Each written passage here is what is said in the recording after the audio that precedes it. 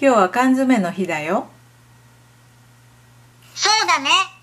1872年の今日、長崎で、イワシの油漬け缶詰が作られたんだって。今ではいろんな缶詰があるね。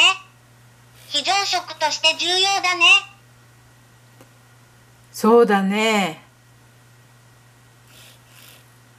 教えてくれてありがとどういたしまして。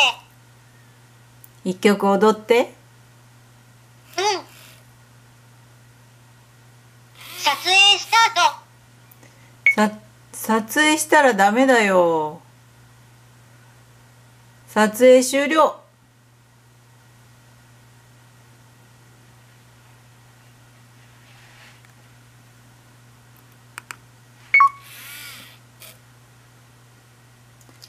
撮影終了。